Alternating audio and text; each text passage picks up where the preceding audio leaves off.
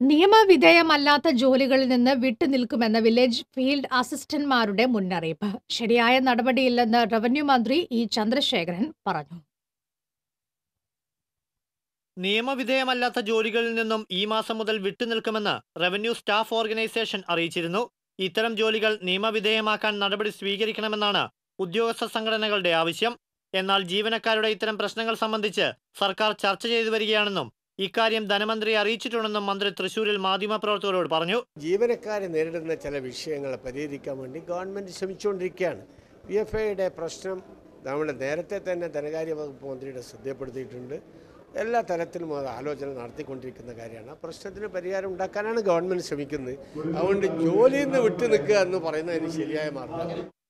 അതേസമയം ജോലിയിൽ നിന്നും വിട്ടുനിൽക്കുമെന്ന ജീവനക്കാരുടെ തീരുമാനത്തെ മന്ത്രി തള്ളിക്കളഞ്ഞു. T C V Thrissur